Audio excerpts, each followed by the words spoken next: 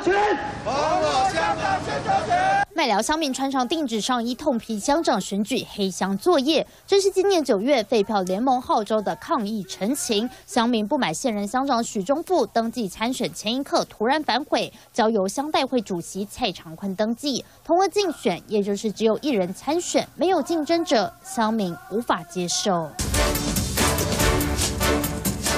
选举开票结果出炉，蔡长坤获得八千零六十八票，刚好通过选举人数百分之二十的当选门槛。尽管无效票高达一万六千零八十三票，等于是有效票的一倍，他还是能够顺利当选。呃，这次的乡长选选举的不公，现任的乡长许宗富了，他选前四处游游说，但是在八月三十那一天晚上得知，哎，怎么候选人怎么换人了？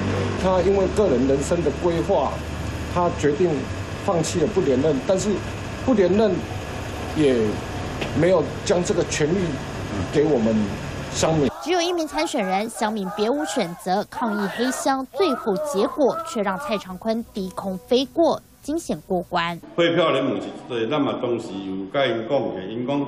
发表一个新生，我讲不要紧，这就是咱民主国家。蔡长坤说：“尊重民主选择，希望通过实际作为和政策，可以拉拢乡民的心。不过这一回废票比得票数多出一倍的状况，可以说是全台唯一。就算胜选，也赢得很没面子。”赛立全、廖一德、周树军，云林报道。